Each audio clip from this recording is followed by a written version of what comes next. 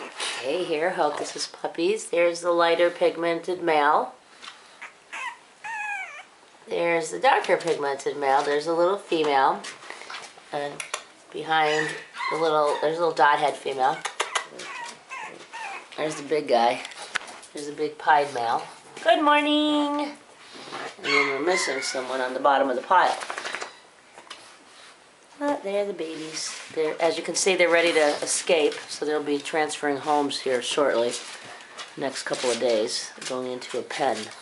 Puppy jail.